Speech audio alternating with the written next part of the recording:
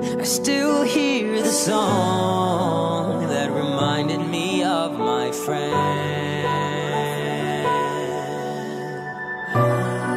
Upon a hill across a blue lake, that's where I had my first heartbreak.